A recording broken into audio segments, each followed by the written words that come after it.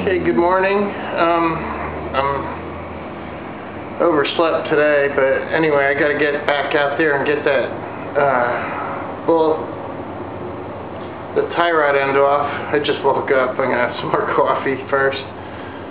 And, um, hopefully get that thing running. I have to go get some razor blades and household junk, and there's just no way I can get out to the store really without logically without that because I have to walk like two miles.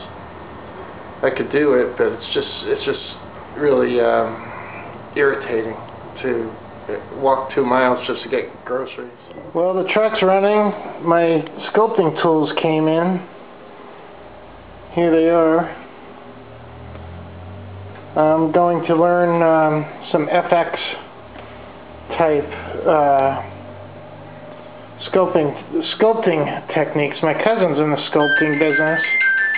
Uh, okay, I'm back. Anyway, um, like I was saying, my cousin is in a form of a sculpting business. He uh, builds paper mache uh, fantasy animals, and he sells them in Florida, and he, he's doing pretty good. He makes quite a bit of money doing it. You know, not not enough to live on or anything, but it's a, a nice supplement to income. And um, maybe at some point I might be helping him, or I might do some stuff on my own. But in any at any rate, even for Kaya Robotics and Kaya Systems, it's going to be helpful to me to have the uh, know-how to get into prototype work so that I can make some some uh, prototype configurations of, of automation systems. Anyway, these are my sculpting tools. here's my um, double boiler setup. I'm melting down a wax candle right now.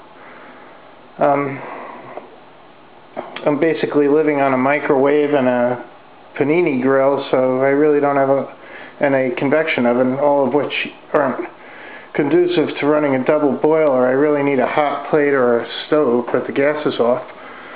But um, anyway, this will work. So I'm going to make some kind of a shape to practice sculpting on with this. Give me something to do in the uh, art of configuration. There's some sites online where you can learn FX techniques, and um, it's pretty interesting stuff some of these guys who left Disney, I guess Disney, they retired from it or, or they weren't getting paid enough and quit, um, have a lot of online um,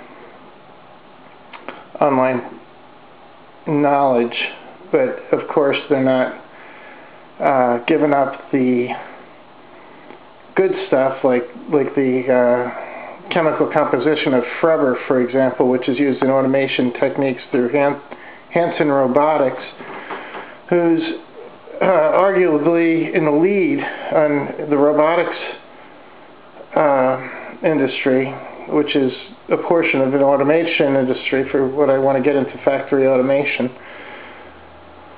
Um, but Sony is also pretty far up there. Who and um, anyway, I, I may post some of that stuff. I may not. But anyway, this is my candle and I'm melting it in a double boiler. This is my double boiler setup. The double boiler is to the point to water only reaches 212 degrees so that's the maximum this wax will hit.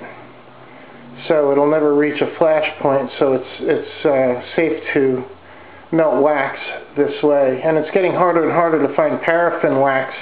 They're coming up with some kind of wax called soy wax nowadays and um, I don't know if that's going to work or not. So anyway, I'm at the beginning of the learning curve on this project, which is uh, one of the branches of uh, Kaya Systems, and um, seems kind of weird, probably, but it is what it is. Anyway, it's 10 p.m. Um, today's maybe a wrap. I'm tempted to go down to Walmart and get some razors. I'm out of razors and I'm out of a few other things. I may take a ride down there and do that tonight or I may wait till tomorrow. But actually tomorrow I want to uh, get the truck inspected first thing assuming I can get the funding for the inspection money, which I'm going to hit George up for, so they drive him all over the place, so, you know, he can spot me, you know, 20 bucks or something like that. But that's the plan for tomorrow, and tonight's a wrap. Tonight I'll be posting this video, and I'll be posting, um, hopefully, unless I have to edit the heck out of it to reach the 15 minute stipulation, um, I'll be posting the um, how to uh, change a tie rod end in your GMC vehicle, which is my first educational video, and I hope you guys enjoy it. So, you guys all have a good night, or morning, or whatever the case may be. See you tomorrow.